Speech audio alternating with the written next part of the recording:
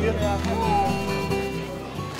Nou, het is vandaag de, voor de tiende keer de midwinters netwandeling. De- we hebben diverse routes. De 25, de 20, de 15, de 10 en de 5 kilometer. En eh, er zijn behoorlijk wat deelnemers op dit moment al. De routes lopen van, eh vanaf de molen, een stukje door Nunspeet. Dan gaan ze de, de bos in. En de kortere routes blijven meer eh, bij, bij Zanderbos een beetje in de bos lopen. En de langere routes gaan naar Vierhouten. En het rustpunt in Vierhouten is op halfweg en daar scheiden de 20 en de 25 kilometer zich.